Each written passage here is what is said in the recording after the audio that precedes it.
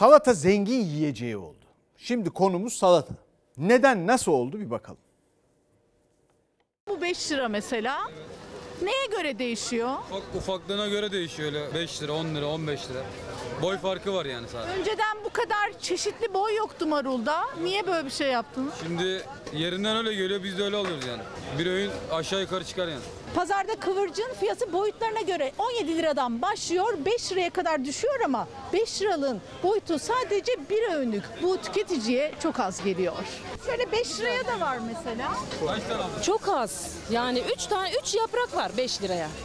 Yani 3 yaprak kime yetecek yani? Bu da 5 lira evet. Yemek yaparız yani akşam. 5 liraya çıktı. Zaten yemek değil 5 liralık kıvırcık maruldan 4 kişilik bir aileye yetebilecek bir salata bile çıkmıyor. Ancak tadımlık sebze meyve bir yana eskiden pazarın en ucuzları olan yeşilliklerin fiyatı bazı pazar ve marketlerde 20 liraya kadar dayandı. Birçok bütçe bu fiyatlara dayanamadı. Almayacağız. Nereye bakıyoruz kızım? Kese boş.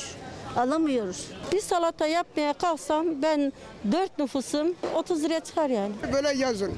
Görüyorsunuz bu memleketin hali. Yüz, bakın hiçbir şey yok. 150 lira. 10 liralık biber almışız. Elma bakın yumurta almışım. Domatesim var. Domates iki tane salatalık. tane salatalık, Evet. birkaç tane de havuç var. insan. Sofralarda temel gıdaya öncelik vermek zorunda kalan tüketicinin salata tabağı boş kaldı. Salatanın malzemeleri kıvırcık 17, dereotu, maydanoz, yeşil soğan, nane 5-10 lira arasında. Mevsiminde yeşil soğan kiloyla olursa 20 lira, göbek salata lüks sınıfında. Çıkması 15, normali 30. Lüks 30 lira. Lüks. O çıkma olarak mı satılıyor? Evet. 15 lira. Aynen. Domates ortalama 25, salatalık 20 lira olunca bir salatanın maliyeti malzeme sayısına göre 30 ile 100 lira arasında değişiyor. Salataya limon sıkmanın bedeli 2 lira. Ya valla bu torbada ne var? İşte 1 kilo domates, 1 kilo salatalık, Bir de nane var. işte nane hepsi toplam 50 lira. Kıvırcık falan yok sadece 50 lira bunlar. Kıvırcık da alsaydınız mesela burada 14 lira. 65 lira. E, normal bir iki parça da alsan 100 lira ya işte bir salata 100 lira diyeyim ya. Ay bu manda yoğurdu değil ha. Ne kadar? Bu 40 lira halde olmuş burada 40 diyor müşteri alıyor ya. Etiket koymamışsınız ama. E Nasıl etiket koyayım ya? Üretim yok bakar mısın ha?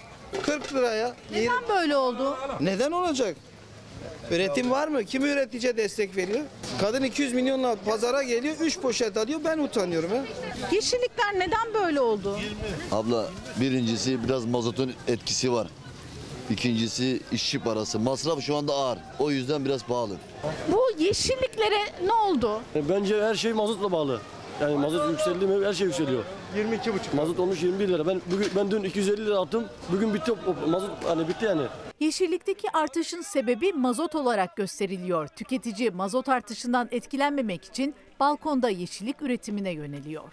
Bir de bakıyorum iş yerinde yukarıda bir bahçe var. Orada yapmayı düşünüyoruz. Ben bir aydan beri pazardan yemeklik almıyorum inanın. Nereden Hanım alıyorsun? atmıştı yazdık bir sene önce. Dondurucudakileri yiyorsun. Evet. Fide mi dondurucu- alacaksın? Evet. Ben balkonda karpuz bile büyüttüm biliyor musunuz? Kayınvalidem tek başına yedi o bir karpuzu.